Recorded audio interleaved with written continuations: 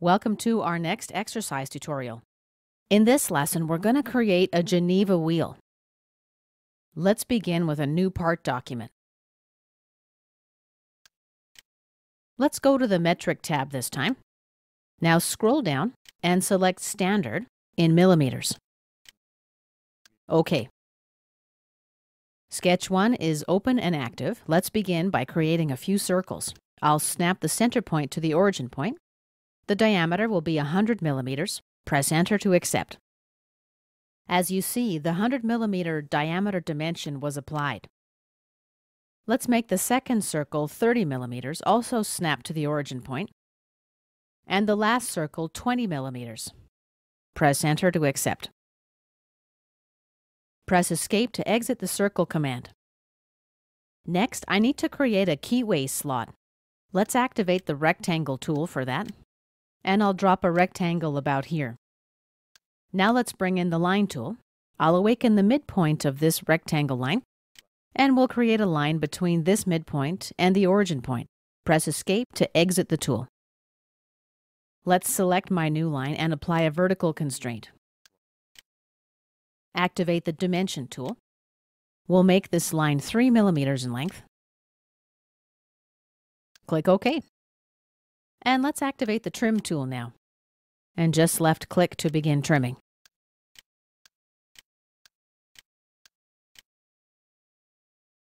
Let's apply another dimension between this point and this point here. Make it 2 millimeters. OK.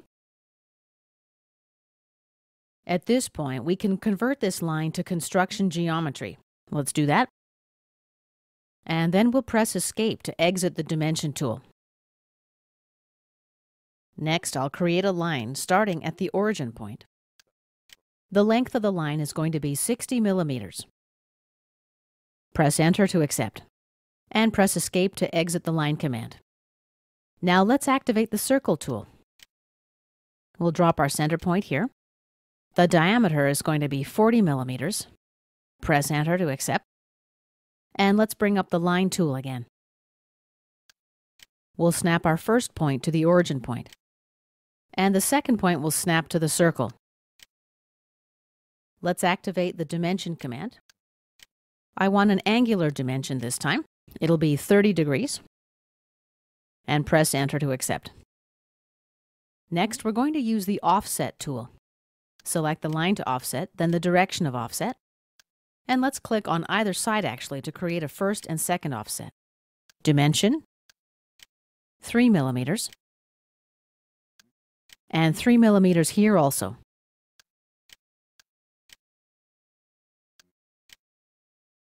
Next, I'll activate the circle command. I'll snap the center to this line, and my circle will be tangent to the other two lines. Activate the dimension command. Let's place a dimension between these two points. Right-click and select an align dimension this time. We'll make it 20 millimeters and press Enter to accept. Let's activate the Trim command again. Now when I mouse over my geometry, I can see what's going to be cut.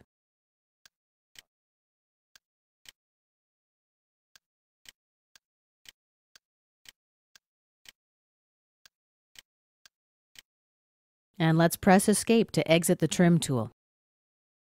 We've got a couple more lines to delete. I'll just select them and delete them. Let me zoom out a bit now. Okay, and let's activate the Circular Pattern command. First, I select the geometry to pattern. Now I'm going to select the center of the pattern. Next, we input the number of instances, let's say 6, at 360 degrees, OK. And let's trim now.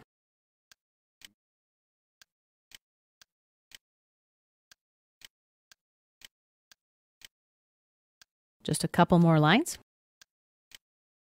Press Escape to exit the trim command.